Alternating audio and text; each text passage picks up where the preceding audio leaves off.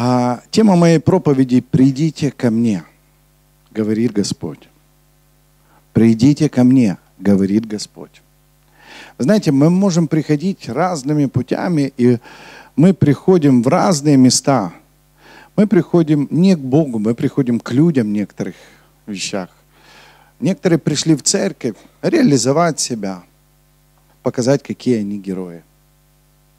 Вы знаете, а, мотив нашего сердца всегда правильный, и мы хотим сначала правильных вещей, потому что Бог мотиватор, и Он приводит нас в правильно. Потом мы можем измениться. И вы знаете, есть такой момент э, охлаждения. Я хочу, чтобы ты услышал меня. Э, есть история о жабе, которая, да, которая сварилась, когда постепенно поднималась температура. Жаба вообще, вы знаете, это э, когда ее в горячую воду, она выпрыгивает оттуда, она не может там находиться. А когда постепенно поднимаешь температуру, она привыкает и она варится там, сварил, сварилась. Есть такое христианское охлаждение, когда мы уже привыкаем, знаете, привыкаем к той обстановке, в которой мы находимся. Мы привыкаем э, к тому, что уже нету наполнения Духом Святым, уже нету силы той, которую мы искали раньше, уже нету той вдохновляющей молитвы, которая была раньше, потому что все такие. Мне как-то один друг мой сказал, ревнуй об этом, чтобы у тебя это всегда было –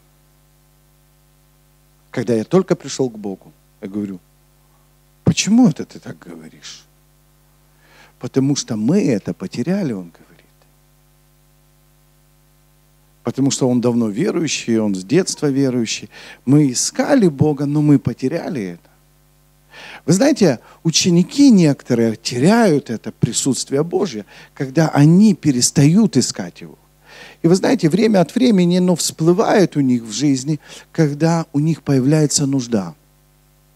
Вот кто из вас болел в детстве? А сейчас болел?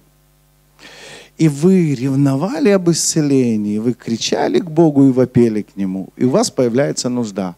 Но это не нужда о Боге, это нужда об исцелении. И когда Иисус говорит, придите ко мне, Он говорит о том, что если ты придешь всецело, то ты приобретешь настоящий мир. Послушайте внимательно. Как же к Нему прийти? Это значит не потерять те отношения, которые у тебя были в самом начале. Взыскать Бога всем своим сердцем.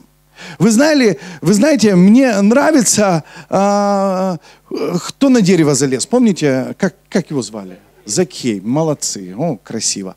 Закхей, все знают. И он залез на дерево. Почему он залез на дерево? Он жаждал видеть Иисуса. Кто из вас имеет сегодня такую жажду, чтобы вы готовы а, поступиться со своей амбицией, гордостью или еще чем-то, упасть к Нему на колени и взывать к Нему, Господи, и без проблем. Я, я не говорю, что у вас проблемы. Просто видеть Его. Просто встретиться с Ним. У него были деньги, у него были возможности, у него все было. Ему хотелось встретиться с Богом.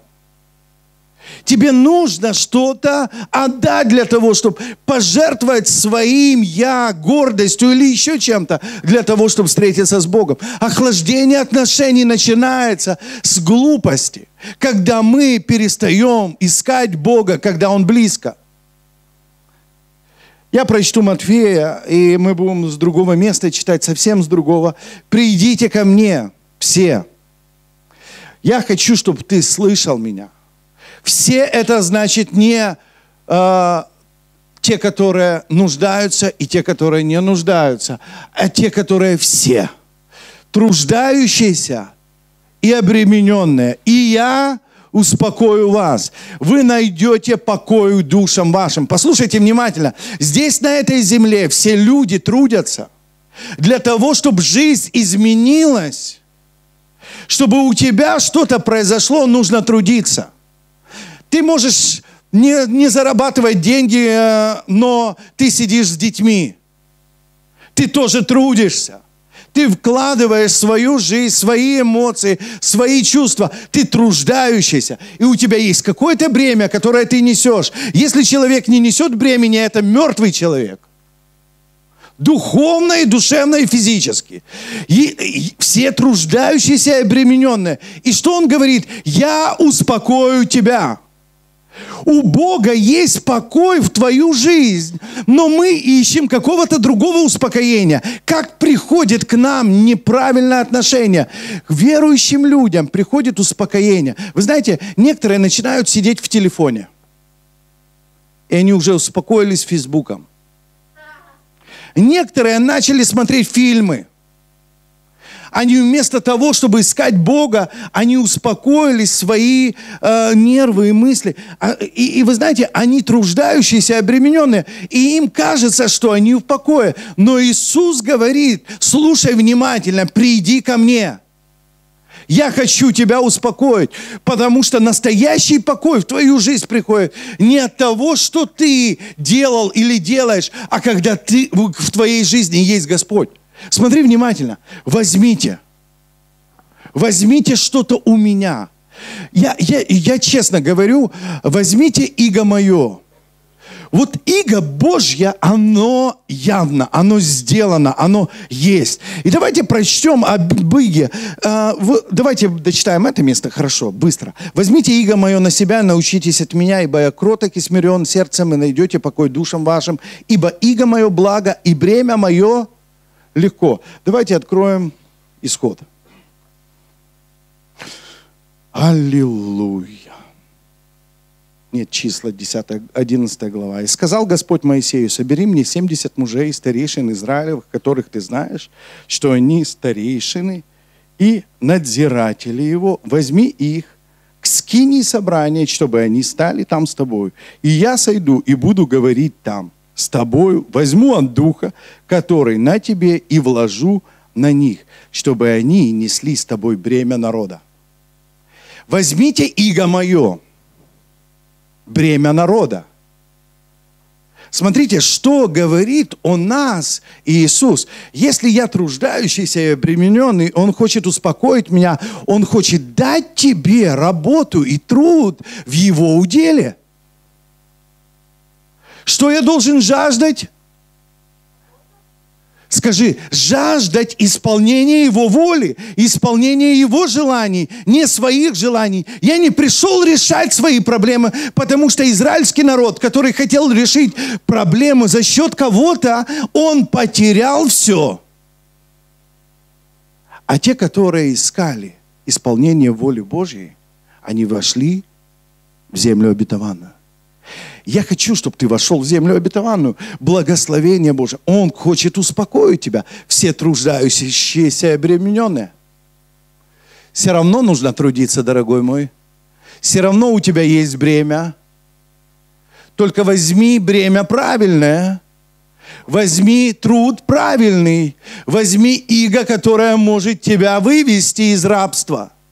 Потому что некоторые берут на себя тяжесть, которую они не могут поднять, и оно не поднимает их вверх. Вы знаете, мне нравится э, то, что о Боге говорится, поднимут крылья, как орлы, потекут и не устанут. А неверующим говорится, что он упадет и не поднимется. Когда ты имеешь откровение Божие, у тебя расправляются крылья – Что-то сегодня все ломается у вас. Ну ничего страшного. Аллилуйя. Главная проповедь правильная. Послушайте внимательно. Главное, слушайте меня сейчас. Я сойду и буду говорить с тобой. Возьму от Духа, который на тебе. Что, у Бога мало Духа? Чтобы дать своего Духа? Почему он берет от духа Моисея? Чтобы передать им то бремя, которое несет Моисей. Послушайте внимательно. На Моисее было бремя. Вы знаете, мы несем то служение, которое должны нести. Мы имеем откровение, которое несем, и которое должны понести в этой области, в этой, в этой местности. И вы знаете, Бог помазал особо нас Духом Святым. Скажи, я помазан? И я должен взять его бремя. И если я не в ведении с пастырем или служением, которое я несу, я не взял от его духа. Я, может быть, в ведении с каким-то другим пастырем, с каким-то другим служением, но я не взял бремя и иго Божье. Тебя не вдохновляет уже то. Охлаждение отношений начинается с того, когда ты не берешь бремя, которое ты должен нести в той или иной области, где Бог тебя поставил. Возьми иго мое и бремя мое. Первое то, что мы приходим к Богу, и мы должны научиться от Него. Придите и научитесь от меня. Если я не учусь этому, я знаете, что делаю? Я теряю. Я хочу научить Иисуса. Я знаю, как все должно быть устроено. Я знаю, как должно быть. Но я не хочу сам учиться. Я пришел учиться. Я пришел получать откровение. И вы знаете, он берет старейшин, старших себя, может быть, может быть, тех такого же возраста, как они, но тех, которых слушается народ. Но Бог берет от духа Моисея для того, чтобы вложить в этих людей ту же самую ношу и то же самое желание, которое было у Моисея служить народу. Если у вас не, не одинаковое ведение со служением и с пастырем, значит, вы не можете искать там, вы не можете находить себя здесь. Но если вы имеете то же самое желание спасать этот город, спасать этих людей, значит, вы в ведении. Иисус говорит, идите по всему миру и научите, крестя их во имя Отца и Сына и Святого Духа. Некоторые служения и служители неуспешны. Вы знаете почему? Помолчите, пожалуйста. Некоторые служения и служители неуспешны. Почему?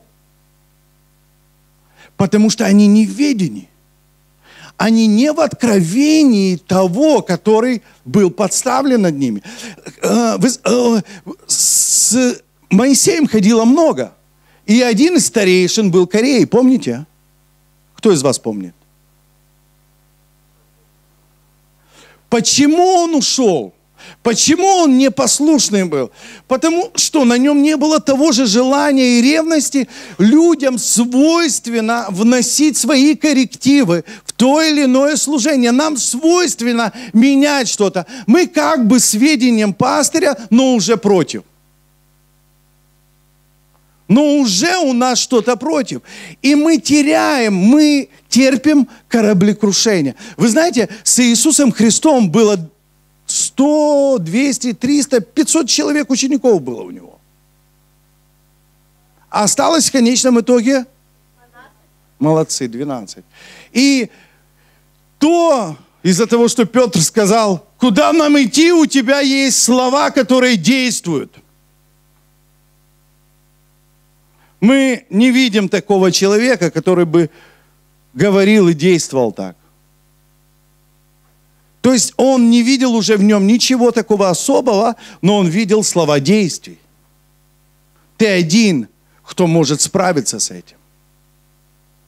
И вы знаете, самое интересное, глаголы вечной жизни, которые дают по-настоящему вечную жизнь, были у Иисуса. Он увидел это.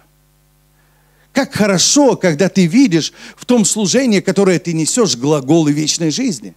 Потому что он говорит о вечной жизни. Придите ко мне все труждающиеся и обремененные, и я успокою вас, и найдете покой душам вашим. И что?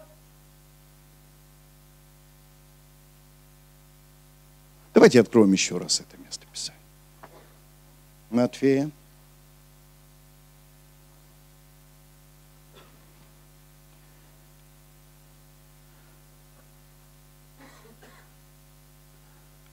И научи, ибо я кроток и смирен, и найдете покой душам, ибо иго мое. Они не открывают. 11.30. Ибо иго мое благо. И бремя мое есть то, что тебя будет поднимать. Иго и бремя Иисуса Христа, которое дает тебе подъем в твоей жизни. Некоторые не видят этого, и они ощущают тяжесть. Иго мое, благо и бремя мое легко. Он ожидает от нас, чтобы мы шли и следовали Его откровению. Он берет от Духа своего и дает нам, для того, чтобы мы исполнили Его волю. Поэтому мы на домашних группах разбираем что? Проповедь. И кому не нравится это, тут неведение из церкви, не в откровении церкви. Поэтому откровение церкви, оно важно. И я вам хочу сказать, важно и ваше откровение, но послушайте, иго ваше, иго мое благо, и бремя мое легко. Мы все несем одно откровение, спасение этого города. Оно заключается в откровении Иисуса Христа. Охлаждение отношений начинается тогда, когда ты уже не в откровении церкви. Когда ты перестаешь быть частью того откровения. Сначала ты хочешь идти следовать за ним, но когда ты слышишь, что Иисус говорит, что Бог говорит, как это можно слушать?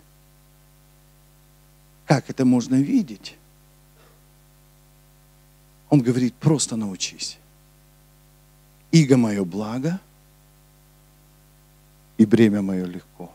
Ты никуда не денешься, чтобы исполнить то, э, то иго и бремя, которое дал Иисус в своей жизни, чтобы спастись, чтобы получить вечную жизнь. Нам надо перемены в своем мышлении, нам надо изменить наше мышление. Почему? Потому что некоторые находятся в таком, знаете, подвешенном состоянии. Они перестали вдохновляться Богом у них свое откровение. Я вам расскажу о дьяволе чуть-чуть. Библия говорит о нем, что он ангел был, осеняющий херувим. И он был неплох в своем деле. Он был прекрасен. Он был устроен красиво.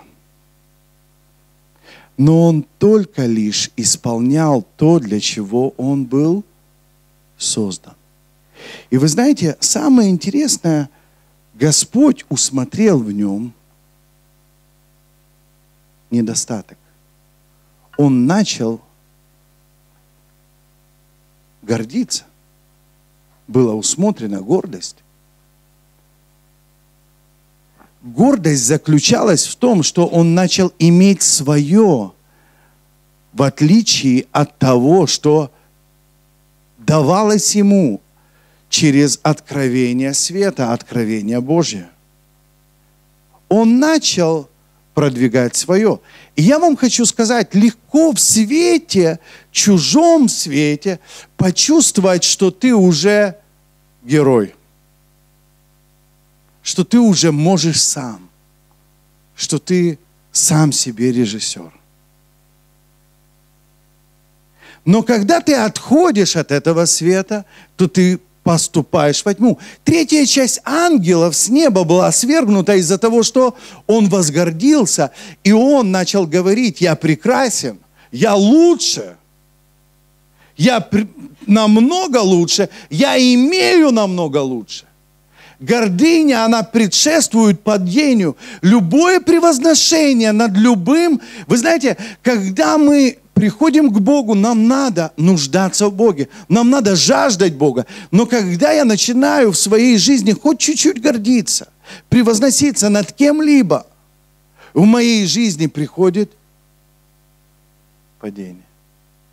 Иисус ни над кем не превозносился. Один раз превознесся на кресте. выше всех. Родился в хлеву, выбрал самую-самую бедную семью, наверное. Кто-то говорит, нет, они самые богатые были. Самые богатые не живут в хлеву. Понимаете меня? Богатых селят, даже если у них самую лучшую гостиницу. Как нас поселили. В самую лучшую гостиницу. Кривом Рогу. И вы знаете, Иисус, Он был низок. Он пришел к тем людям, которые не были грамотные, ничего не знали, ничего не понимали, но не услышали Его. Вы знаете, никогда ты не можешь принести Богу, когда ты что-то знаешь. Тебе надо оставить все. И Он говорит, придите ко мне все труждающиеся и обремененные. Бог, который знал устройство Вселенной, мог рассказать тебе физику, теорию и все остальное. Он мог рассказать все. Он пришел к самому низкому, и он показал, как надо выйти из того положения, чтобы выйти на высоты. Потому что иго – мое благо, а бремя легко. Тебе надо просто принять Его откровение, просто войти в это откровение, потому что Господь сегодня хочет наполнить тебя своим откровением. И давайте откроем. Вы прочитали, да? В Моисей, он от духа Моисея, он взял и дал этим старейшинам. Но там стане начали пророчествовать это те же, которых избрал Бог. Избра вообще избирают, вы, вы знаете кто? Не пастырь, не служение. Кто избирает? Поэтому Иисус молился, кого мне избрать из учеников. Помните, да? Избирает Бог. Скажи, я избран. Если я здесь сижу, значит, мне надо искать присутствие Божьего. Охлаждение отношений может прийти в твою жизнь, когда ты перестал исполнять то, что Он тебе сказал. Быть в ведении церкви, в ведении откровения. Разрушается служение разрушается. У всех нормально, у всех происходит что-то, а у тебя перестает происходить. Ты чувствуешь, что что-то не так. Знаешь почему? Потому что тебе надо войти снова в это. Снова окунуться в то же самое. Да и аминь. Я последую за тобой, куда бы ты ни шел. Я буду делать то, что ты говоришь. Послушание лучше жертвы и повиновение лучше туковного. Даже цари должны были слушаться пророков, когда они идут. Потому что помазание Иисуса Христа, оно сходит сначала на голову, а потом на бороду и до края одежд. Слушайте. И открываем 14 глава Иоанна. Давайте быстренько. Мне нравится то, что он здесь говорит.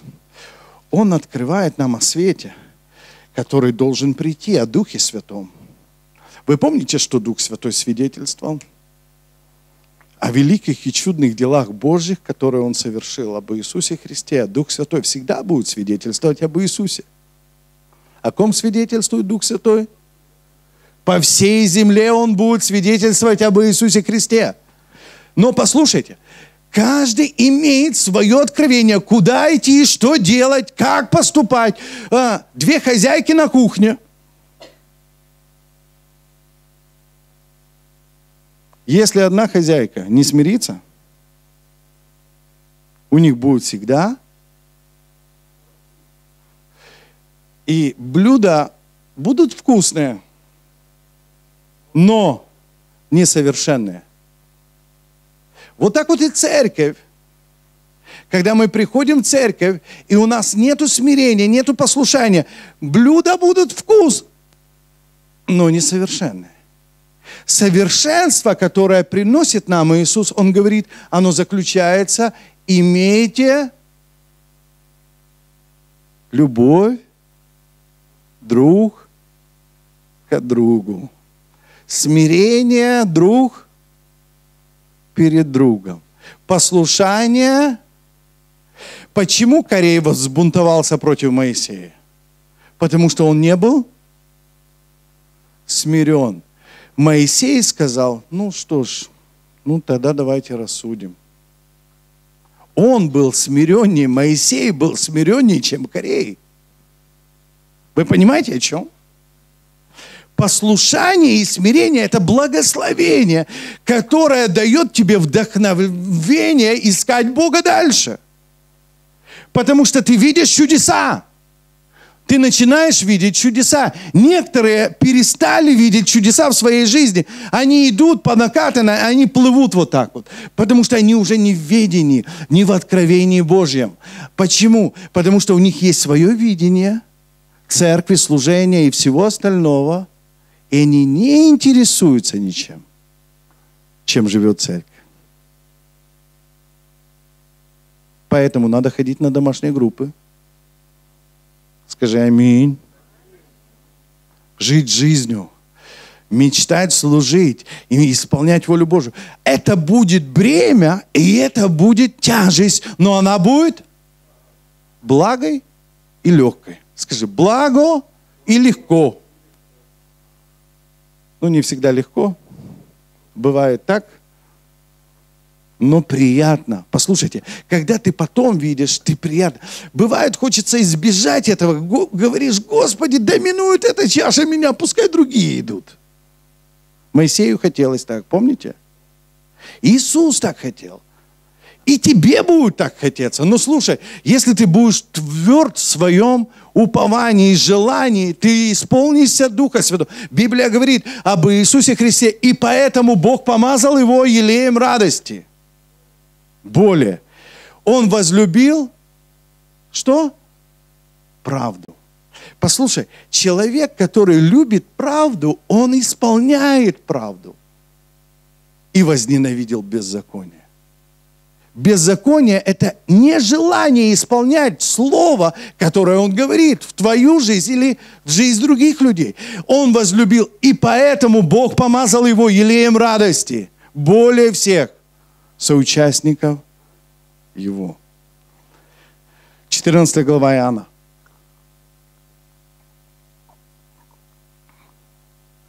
С первого стиха. «Да не смущается сердце ваше, веруйте в Бога, Смотрите внимательно.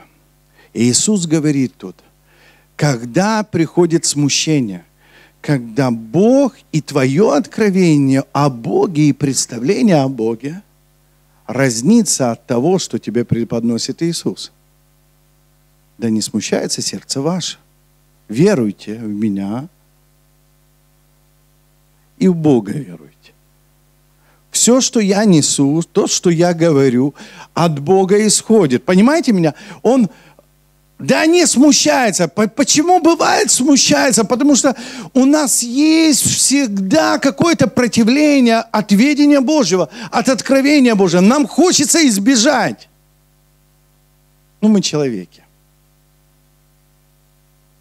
Нам свойственно погулять где-то, заняться своим интересом, правда? Нам хочется разных развлечений, которые не нужны в данный момент, а нужно поспать вместо того, чтобы идти на ночную молитву. Охлаждение, знаете такое? Начинается с малых вещей. Оно начинается от смущения. Ой, я чувствую здесь. Кто-то говорит, я прославление не люблю. И мне не нравится прославлять здесь Бога.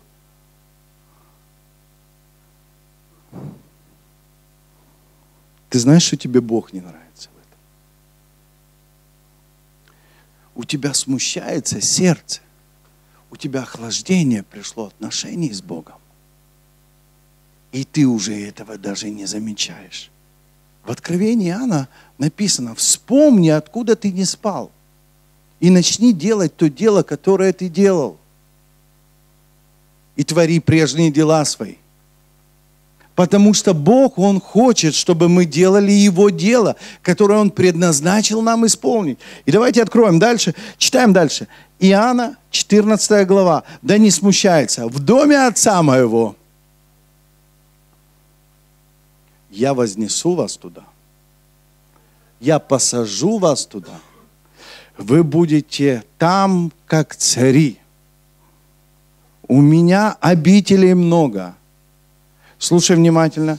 Я хочу, чтобы вы поняли, в доме отца моего обителей много. Но если бы не так, я и отец одно, я сказал бы, иду приготовить вам место. И когда пойду и приготовлю вам место, приду опять и возьму вас. Смотрите, кого он возьмет. Придите ко мне все. Снова он говорит о тех, которые придут к нему. Если ты еще не пришел к Нему, тебе надо прийти к Нему исполнять Его волю уже сейчас, потому что Он все сказал. Приди ко мне. Ой, что-то мне не хочется, не хочется молиться, не хочется делать, не хочется того делать. Тебе хочется всегда что-то другого. Ты бунтарь. Ты тот, который воюешь против стоишь против. Но Бог говорит, слушай, возьми иго мое, у тебя так много бремен, бременей, бре, бревен, ну, в общем. У тебя и так много всего. И когда пойду, приготовлю вам место и опять возьму вас к себе, чтобы вы были, где я. Вот это мне нравится, где я. Вы можете всегда находиться там, где тот, который с вами рядышком, или же вы можете находиться в другом месте. Вы были когда-нибудь человеком, когда он общается с вами, но он в другом-другом месте. И ты разговариваешь с ним, и тебе хочется быть с ним, а он в другом месте. А он в другом месте. Ты спишь с ней в постели, а она в другом месте. Ты находишься, а он в другом. И, и, и часто мы так приходим в церковь, и каждый в своем. Помните, с чем это похоже? Это похоже э, на книгу судей. И не было у них царя, и каждый делал, что считал нужным. Почему? Потому что когда у тебя в голове нет царя, твоя семья разваливается, твой дом разваливается. Если вы в одном идете, некоторые говорят, ну как же, мы же должны отдыхать, думать о другом. Послушай, у вас должно быть одно дело в Господе. Одна церковь в Господе. Одно служение в Господе. Я не верю вообще, что Бог призывает пастыря служить, а жену его нет. Диакона служить, а Иру нет. Виталика. Я о себе говорю. Бог призывает нас всех. И если Он призывает ее и меня, послушайте, ответственность одинакова. И если она не разделяет эту ответственность, если она не взяла духа, она будет тащить меня куда? Вот часто бывает охлаждение отношений только тогда, когда что-то тебя тащит не туда, куда нужно. Тебе нужно правильное взаимоотношение. Смотрите дальше, я прочту. А куда я иду, вы знаете. И путь знаете. Слушайте, мне нравится это. Мне так нравится, что он говорит. Он говорит, мы, вы знаете, я вам все уже рассказал. Он говорит, Фома, не, не Фома, извиняюсь. Фома, да, сказал ему, Господи, знаешь, куда идешь? А как знать можем путь? Расскажи нам. Он говорит, я путь. Я путь. Никто не приходит к Отцу. Скажи, никто не приходит к Отцу. Как только через меня. Никто не приходит к Отцу, как только через меня. Вы знаете, один посредник. Тот, который сказал, иди, приди ко мне, все труждающиеся и обремененные, возьмите то, что я делаю, и начните делать. Начните то делать, что я сказал пастырю, и помогайте ему. И это будет путь. Я хочу, чтобы вы услышали меня. Это простые слова. Моисея путь – это исполнение воли вот этих 70 человек. Они должны идти были путем Моисея, проходить весь этот путь. Поэтому Корей взбунтовался, потому что он думал, что он знает уже пути Божьи. У нас всегда бывает вот такое бунт, когда мы начинаем думать, что мы знаем больше, чем кто-то либо. Это бунт. И вот это охлаждение отношений, хотя и Бог вроде не оставил, и у тебя есть сила еще в ногах, в руках и во всем остальном, но Бог отнимает что-то. Смотрите, что. Я и путь, истину отнимаю, да? И жизнь. Смотрите, да, и интересно. Есть то, что дает тебе жизнь кто-то существует, и он в состоянии не жизни, он не имеет откровения истины, у него своя истина, у него свое понимание истины. Но Иисус говорит, я есть путь, истина.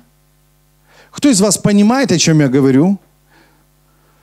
Помашите ручкой. Аллилуйя, если понимаете. И дальше я дочитаю.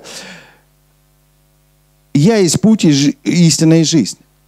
И никто не приходит к Отцу, как только через меня. Если бы вы знали меня, то знали бы Отца моего.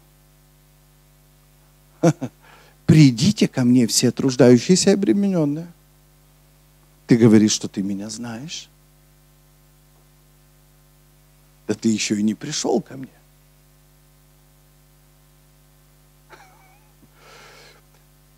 У Петра были свои планы на Иисуса. У Иоанна были свои планы на Иисуса. У Иакова были свои планы на Иисуса. Пока не они не приняли от Духа Его. Вы понимаете, о чем я говорю? Кто из вас понимает? И когда они приняли от Духа Его, они стали Ему свидетелями, они стали делать то же, что делал Иисус, только с новой силой. Они могли свидетельствовать об Иисусе, они знали об Иисусе. Некоторые сегодня знают о служении, но они не могут войти в служение в полноте, потому что они другого духа. А что у нас другой дух? В любую церковь вы придете, и вы будете чувствовать дух. Дух церкви, дух служения, дух служитель, дух пастыря, дух, который стоит. И если вы почитаете дух семи церквей, духи семи церквей,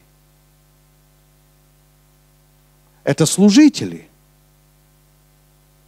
от которых было взято и передано всем.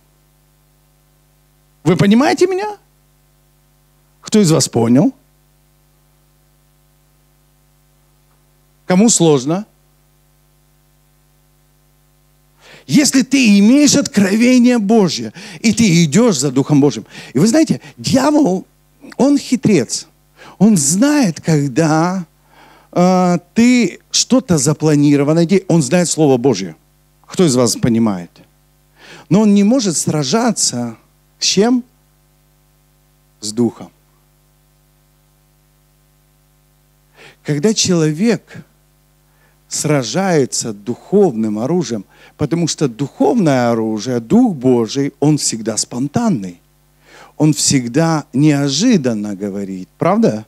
И будут пророчествовать, и будут видеть сновидения. И вы знаете, оно всегда ранит тот сердце, оно изменяет тот дух, оно делает определенные вещи, которые Мы не ожидаем даже, что они происходят. Так и слово. Когда Иисус проповедовал, они всегда были в неожиданности, что Он им скажет. Потому что если бы они знали, что Он скажет, они уже могли бы приготовить антипроповедь. Вы понимаете меня? Так свидетельствуют свидетели Иеговы. Они приходят и говорят, а знаете вы, так любая религия действует. Она берет ваши знания, и она пытается вложить в собственное откровение. Когда Бог действует в вашей жизни, Он всегда спонтанный. И Он говорит, приди ко мне. Приди ко мне. Вы знаете меня, вы еще и не пришли ко мне. Когда ты придешь к Нему, твоя жизнь начнет меняться у тебя желания, а, у тебя были эти желания, но ты охладил это, тебе снова нужно прийти к Нему. У тебя надо изменить твой труд, твои бремя, возьми иго Его и бремя Его. Потому что иго Его и бремя Его, оно приятно и легко. Я путь истинной жизни. Филипп сказал, Господи, покажи нам Отца. Супер.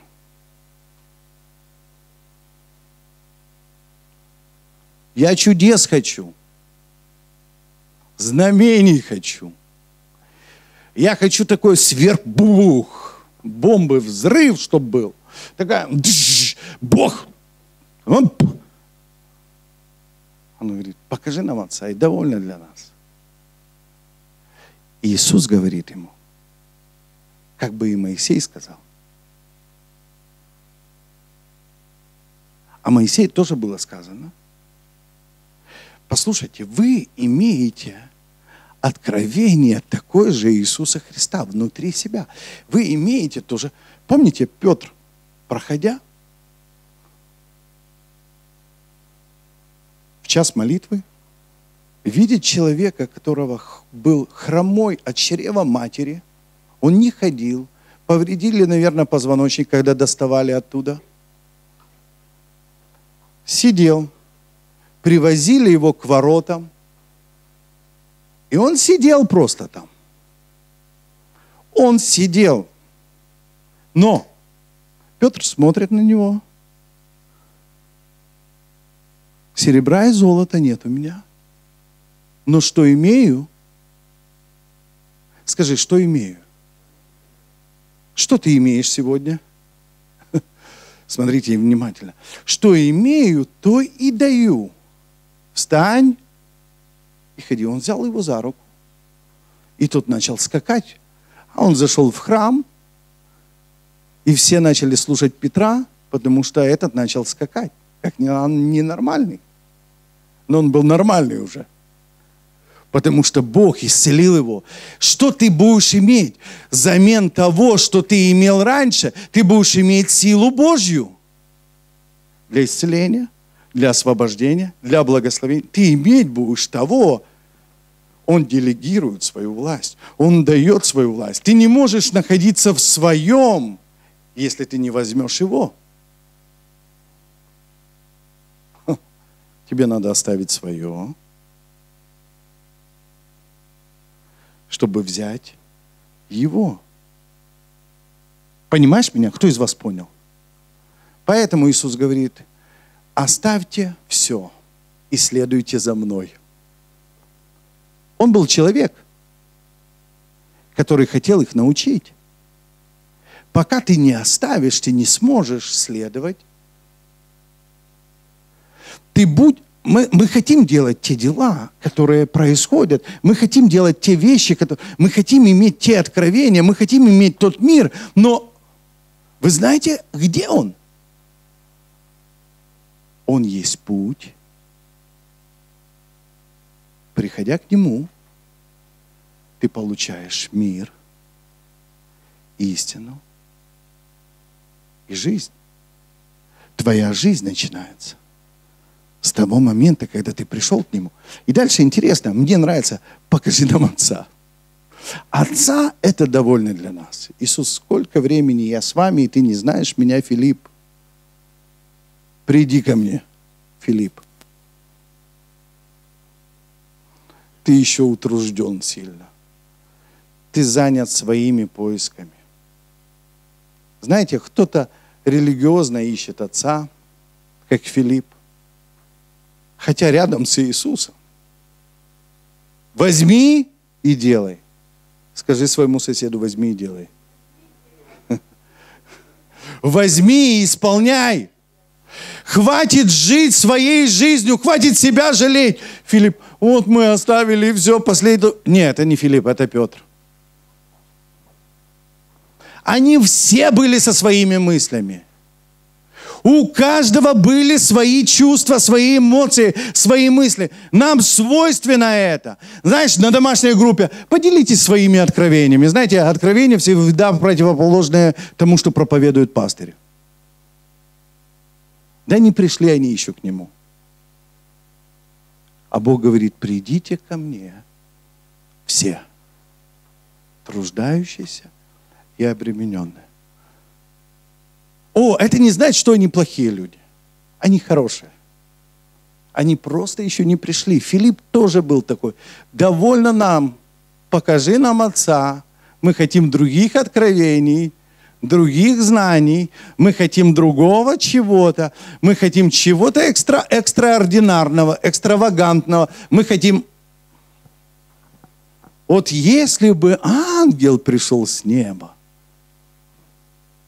тогда бы уверовали. Да нет. Нет, не уверовали. Когда-то людям надо было веровать в Моисея. Сейчас надо веровать в Иисуса и церковь, которую Он поставил столпом и утверждение истины. Церковь, место, дух церкви здесь возьму от Духа моего и дам им. Мы не можем служить в церкви. Вы э, видели когда-нибудь людей, которые служат, но они иного духа? Вместе собираются, и они иного духа. Нет. Каждый будет тянуть в свою сторону. Они иностранцы.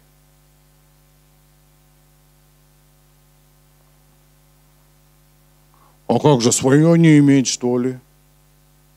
Ну, имей свое. Никто ж тебе не мешает.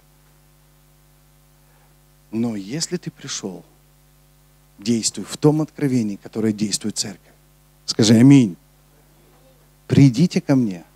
Вот поэтому я говорю, когда ты приходишь в церковь, ты должен принять не только, а и откровение церкви. Спасение города Борисполя – благословение, которое имеет пастырь, откровение пастыря, служение. А, послушайте, это не значит, что вы должны пастыря боготворить. Не надо. Пастыря не нужно боготворить. Это ненормально, это не здорово. Вы должны видеть чудеса Божьи в своей жизни. А они начинаются с того, когда ты в откровении одном. Одно сердце, одно видение один дух, одно откровение. Понимаешь меня? Не адвентисты мы, не баптисты, даже не пятидесятники, извините. Знаешь, кто мы?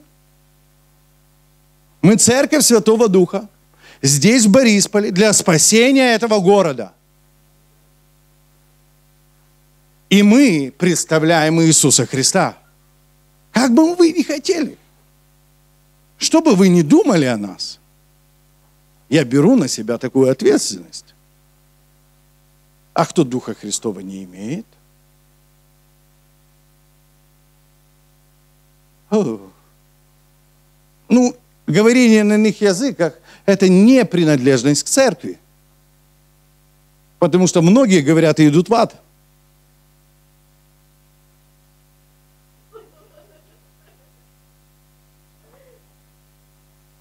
Знаешь почему? Когда ты исполняешь его волю – и исполняешь то, для чего Он послал тебя.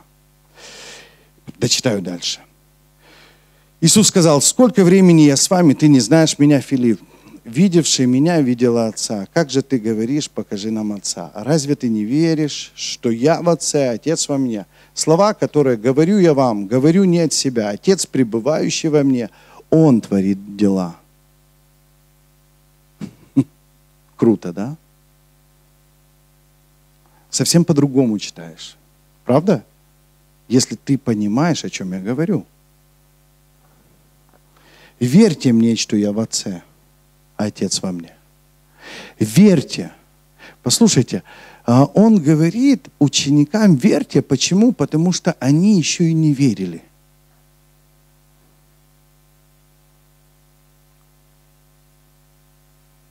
А кто из вас верит? Ходит в церковь и верит до конца. Не, не, некоторые. Приходишь в церковь, а половину церкви не верит в то, что Борисполь спасется. Ну, Бог с ним. Так вы же будете ходить вокруг горы, и мы вместе с вами. Понимаешь меня? Бог любит вас. И Он ждет, пока вы придете ко мне, к Нему, то есть. Он сказал, придите ко мне.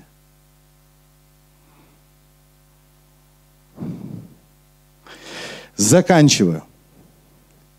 И прошло еще 30 минут, да? Истинно говорю вам, верующие в меня, дела, которые творю я, не, э, и он сотворит. И больше этих сотворит, потому что я иду к Отцу моему. Вот теперь вот вам секрет. Хочешь творить тела Божьи? Веруй в Иисуса Христа. А чтобы верить в Иисуса Христа, слушай внимательно, тебе надо прийти к Нему. Придя к Нему, начать исполнять то, что Он хочет от тебя в данном месте, в данном служении. Он делегирует свою власть через служителей, через пастырей. Иисус тот же если я не подчиняюсь этому служению, я охлажден. Я уже не наполняюсь духом, потому что он отнимает дух. Отнимает то помазание, которое было, силу, которая была. Ну, помазание же было, но его уже нет. Я вам хочу сказать, если ты хочешь снова возвратиться туда, тебе нужно возжаждать опять. Некоторым надо оставить все свое и следовать за ним. Оставь все свои желания, свои... следуй за мной, следуй за мной. Послушай, Иисус, ты понимаешь, у меня жена, дети, следуй за мной. У меня масса планов, у меня масса идей, следуй за мной. Если ты последуешь за Иисусом Христом, Он приведет тебя к себе. В конечном итоге Он приведет тебя только к себе. Тебе надо принять решение, я хочу исполнить Твою волю. И мы молимся молитвой «Отче наш», но мы не понимаем, что да будет воля Твоя. А Его воля здесь. Не та, что ты определил. Его воля должна быть тогда, когда ты приходишь к Нему. Он хочет, чтобы ты был благословен. Он хочет, чтобы ты был наполнен. И, и, и Он говорит, придите ко мне, все труждающиеся и обремененные, и я успокою вас. Кто из вас понимает, о чем я говорю? Супер. Классно, правда? Мне нравится эта проповедь. Чего? Мне нравится, потому что я проповедую его по вдохновению. Я проповедую от Духа Божьего. И я хочу, чтобы ты услышал то, что я говорю. Библия говорит, приди ко мне. И Иисус говорит, приди ко мне. Мы не приходим к Иисусу Христу, мы приходим перед алтарем, перед церковью, мы приходим перед пастырями, мы каемся перед пастырями. И да, это надо. Знаешь почему? Потому что Иисус является здесь в церкви. Я не превозношу служителей, я не превозношу пастырей. Но я хочу сказать, что если мы не делаем этого, мы отвергаем о себе волю Божью. Мы не хотим исполнить волю Божью. Мы только говорим, что мы верим в Бога. Придите ко мне, все труждающиеся и обремененные. Ты все равно трудишься. Но ты хочешь летать? Есть крылья веры, есть благословение, есть та ответственность, которую ты можешь нести, и Бог может тебе дать силу. Понимаешь меня? Скажи аминь. Я понимаю. Давайте встанем все.